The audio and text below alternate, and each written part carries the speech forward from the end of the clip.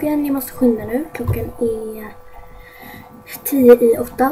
Och jag ska gå snart. Jag ska möta Maria i alla fall. Den, jag skulle få en iPhone på måndag.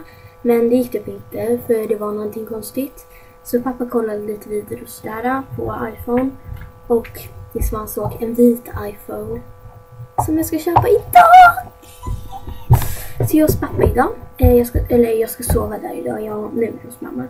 Eh, ja i alla fall. Det ska bli jättekul. Men långa naglar. Ah, ja. Um, ja, det ska i alla fall bli jättekul och jag vill ju ha en vit så ja, jag måste skynda nu för vi ska till skolan. Um, hoppas ni får det kul. Puss puss!